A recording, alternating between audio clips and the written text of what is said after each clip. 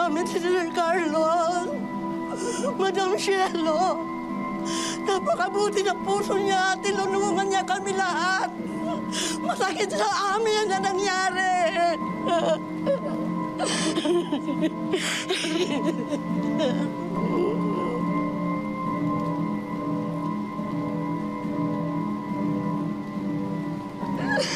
Salamat.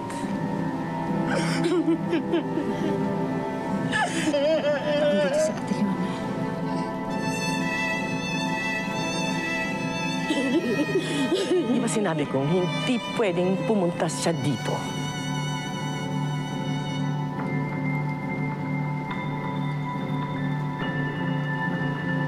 La, asawa siya ni Dad.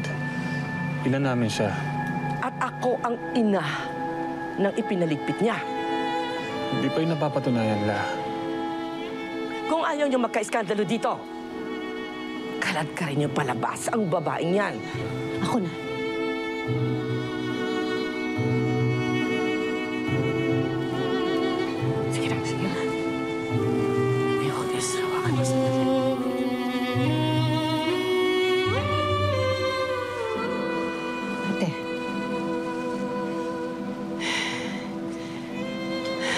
Nakikiusap ako. Bumalik ka na lang pagkatapos ang libing. Please. Bakit ako ang kailangan umalis at bumalik? Felix, this is so unfair. Asawa ako. Ate, napag-utugsan lang ako. Wala din naman akong choice. Kilala mo si Mama. Ayaw mong mapahiya tayong lahat dito.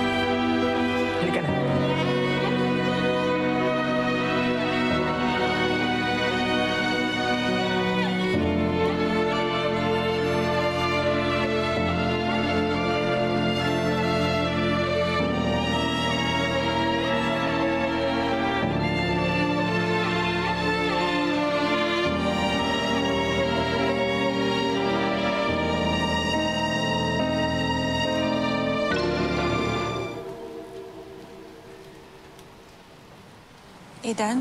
Usapin ko lang si Mama.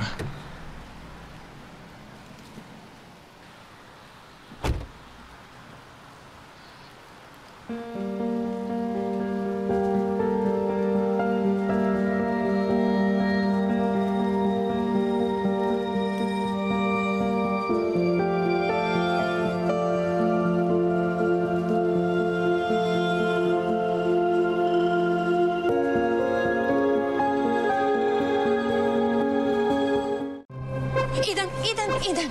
Sandali. Bumalik ka na muna sa loob, ha? Sige na. Hayaan mo na munang matapos ang libing nang walang nangyayari, Idan. Idan? Idan? Idan, bumalik ka na muna sa loob. Sige na. Halika na.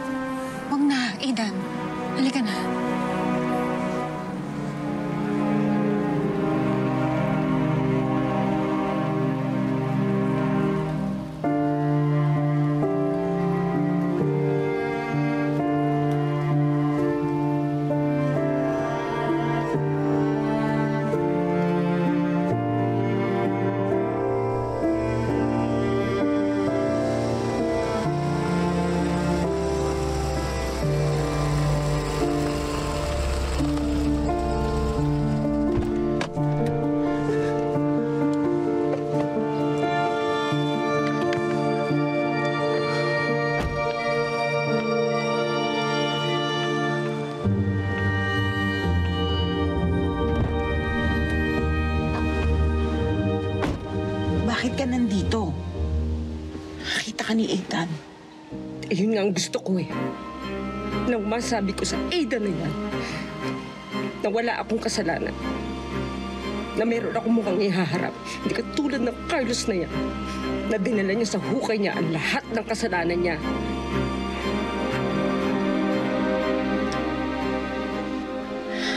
Olga, maglilo ka muna. Hindi pa nakaka-recover ng lahat. Ikaw ba nakarecover ka na, ha?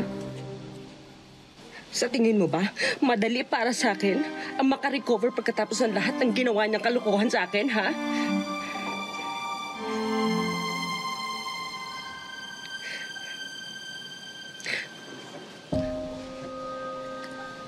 Nang dahil lang sa'yo, tumatahimik ako. Pero sa tamang panahon, tandaan mo yan. Ipaglalaban kita. Paglalaban kita, okay?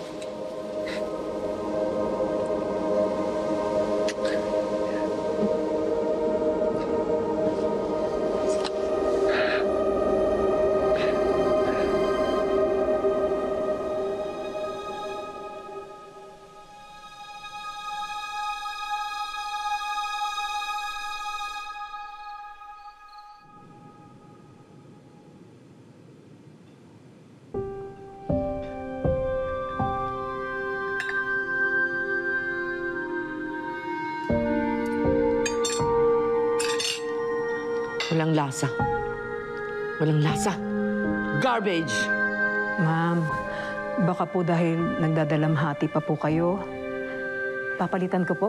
Ng ano? Another garbage? No. Throw that away.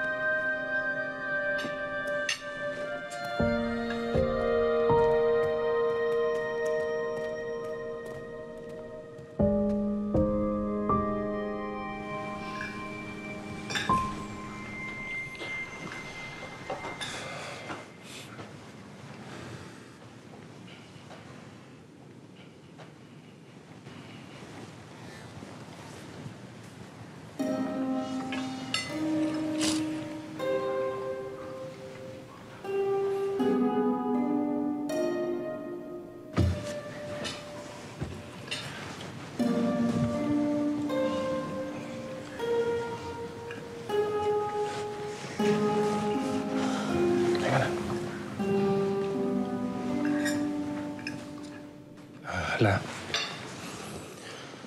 Asikasuhin ko na yung rebuilding ng mga nasira nating structure. Inaayos na po yung insurance. May mga nakausap na rin ako na architect and contractors. Pero naisip ko na baka mas mabuting sa labasan ng compound itayo yung bagong opisina para hindi na makabala yung, yung construction sa, sa operation natin. That's good. Sabong na lang ang nagdadala ng pera sa atin sa kasalukuyan. Ah, don't worry. Magiging maayos din ang takbo ng lahat. Alam kong hindi rin gugustuhin ni Dad na mag-suffer yung negosyo natin, ang kabuhayan natin. Dahil bago pa man siya mawala, alam ko, pinilit niyang asikasuhin lahat ng problema ng negosyo. Kaya itutuloy natin yun la. Yup. That's Kuya. Always trying to fix things. Always trying to work things out kahit mahirap. Kaya siguro nandun pa siya nung mga oras na yun kasi he's putting in long hours trying to fix things. That's exactly how I want all of us to remember Carlos. He wasn't perfect, but he was my son.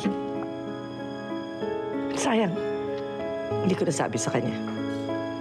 Huli na ang lahat for me to realize that I was... I was pushing him too hard.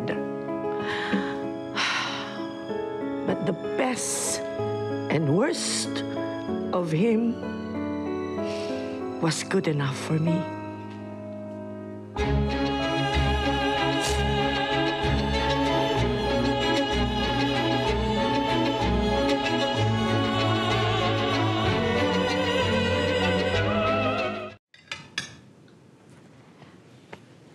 Nasaan po si Mama?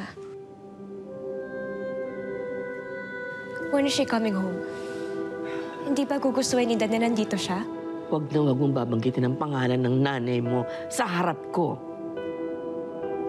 You don't know the whole story. Then tell me, Lola. Deserve ko rin naman malaman kung bakit si Mama yung nadidiin dito. Yara, Ilang beses kong sasabihin sa'yo na ayoko nang madinig ang pangalan ng nanay mo.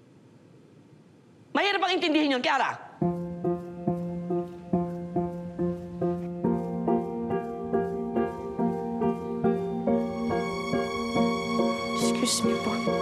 Kwarto muna ako.